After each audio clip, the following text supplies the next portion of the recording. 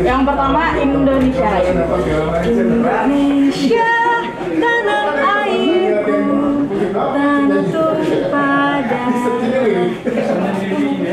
Sanalah aku berdiri jadi pandu ibuku ciptaannya versi Wih. Tahun berapa nih? Hah?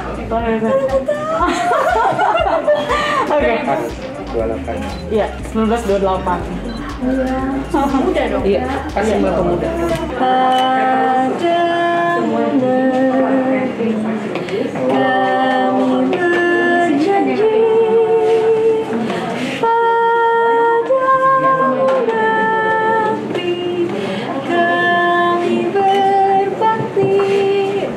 Oke, itu ciptaan siapa?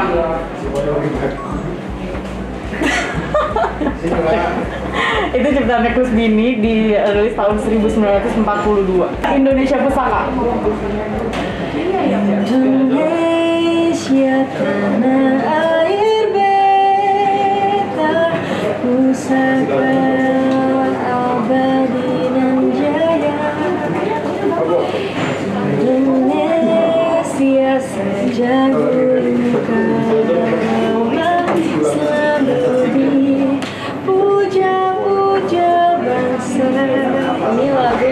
aku Oh, siapa nih penciptanya yang Lili tahu?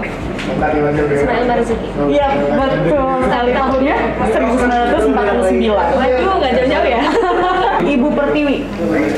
Yang keempat.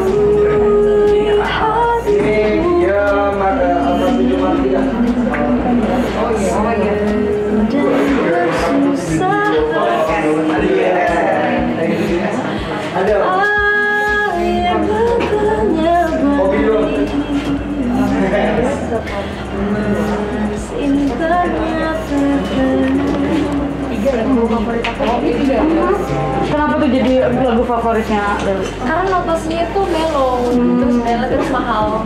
Kayak ini tentang Indonesia. Hmm, tapi Lili sendiri tahu pencipta dan tahun Oke, ini juga diciptain sama Ismail Marzuki Oh, Ismail. tahun 1908 Lili. Wow, lebih Iya, tua dong. lebih tua lagi. Ya penting banget buat kita dari kerja orang tua kita mendidik anak-anak untuk memperkenalkan lagu-lagu Indonesia, lagu-lagu nasional. Ya itu kan sebagai warga negara Indonesia berbangsa Indonesia itu penting memiliki jiwa nasionalisme yang tinggi dan menurut aku ini penting banget.